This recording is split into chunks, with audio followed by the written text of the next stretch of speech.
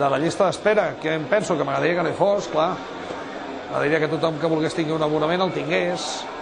Jo el màxim que he posat i està en una d'aquestes 100 propostes, com a mínim miraré de posar-los més fàcil, perquè fins ara un soci que potser fa 6 o 7 o 8 anys que està esperant per ser un abonament, quan el CRI li diuen que el tenen, t'he de dir que normalment de tercera graderia, o gairebé sempre, ha de pagar 3 anualitats de fons perdut.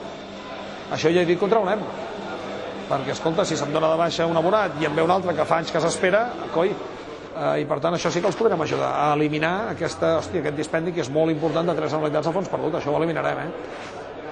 I, eh, perdona, l'agència de viatges jo no tinc clar que l'agència de viatge sigui absolutament necessària per aconseguir l'objectiu que hem d'aconseguir. L'objectiu és que l'equip se senti acompanyat dels aficionats que vulguin anar-hi. Aquí no només és una barrera de preu, però la barrera de preu és molt important i el que hem de fer és salvar-la. Això és el que hem de fer. Per aconseguir que el preu deixi de ser un problema, jo no tinc clar que l'agència de viatge sigui la, la millor fórmula. Sí, hi ha molta gent que ho demana. Però jo que ens ho estem, hem estat mirant, Aquí el d'aconseguir és que els preus baixin, i baixin a nivells que permeti que tothom que vulgui anar-hi pugui anar-hi. No tinc clar que això s'hagi de fer forçosament a través d'una agència de viatges. Més aviat penso que no. Més aviat que són altres les polítiques que s'han de fer per aconseguir el preu baixi.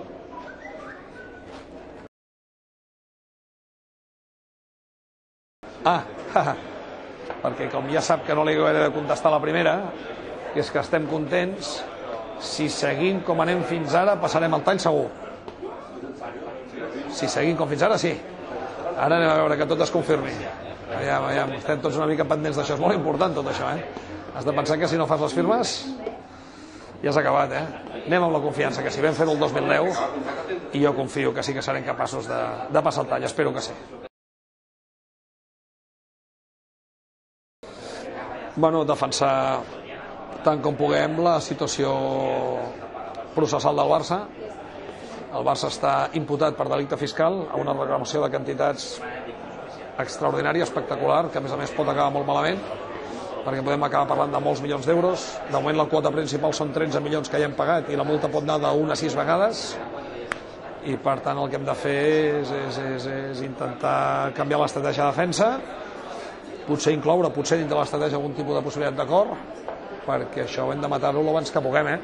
Pel que fa a Bartomeu i a Rossell, aquí no desitjo, lògicament, ningú que entri cap dels dos a la presó, eh? malgrat tenen penes sol·licitades molt importants, eh, esclar, això els correspon més amb ells, no? ens afecta amb ells personalment, eh? que no té res a veure amb el Barça. Eh?